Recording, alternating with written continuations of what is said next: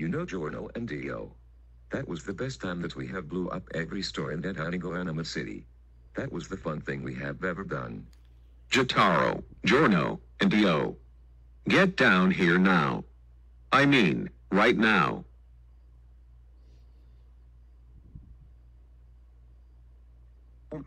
Saitama, what is this officer doing here? Well, Jotaro, Dio, and Giorno. Since I found out that you both have blew up stores in Go Animate City, you three have warrants out for your arrest. So you three are under arrest. You three are under arrest for destruction of property.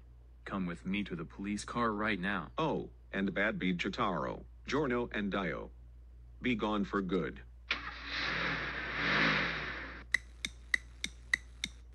All right, Jotaro, Giorno, and Dio. This is your jail cell until court, which is tonight. Well, Jotaro and Dad. Looks like we will never have any freedom again. No one likes us now anyway. All right, Jotaro, Giorno, and Dio. Time to go to court. Court is now in session. We have three defendants named Jotaro Kujo, Dio Brando, and Giorno Giovanna, who committed a felony, which involved destroying stores involving weapons, which involved destroying stores in Go Animate City. The crime is terrorism and destruction of property involving a deadly weapon, which it is a felony charge, and worse, it involved murder as well, which that can lead to life in prison. I am sorry, Jotaro, Giorno, and Dio. But I am going to deny the bail to the safe of the community. Also, you three are found guilty of destruction of property of blowing up these stores. You three are sentenced to life in prison without parole.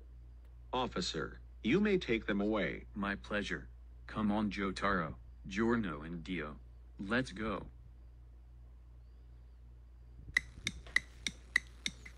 Well, Jotaro and Giorno. This is it. This is our new home. Prison. We will never be able to get out again. Since we are here for good. Yeah. This is gonna suck. But we need to do the life in prison. Meaning we are here for good. Well, I guess we can just walk around.